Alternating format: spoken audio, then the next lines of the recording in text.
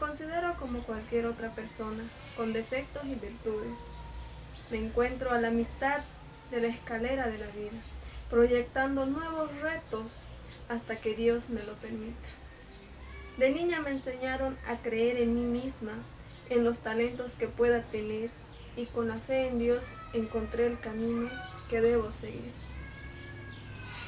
Soy una madre que anhela ser ejemplo de vida.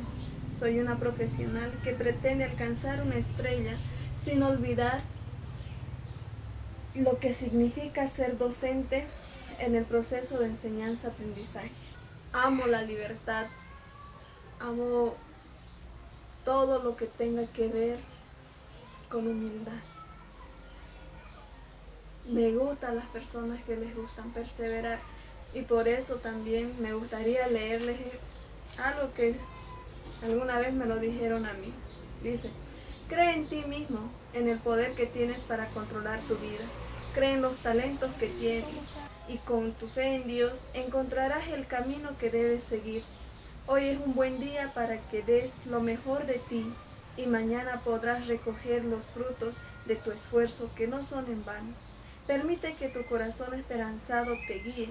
Si confías y crees que puedes, no hay límite para lo que quieras hacer.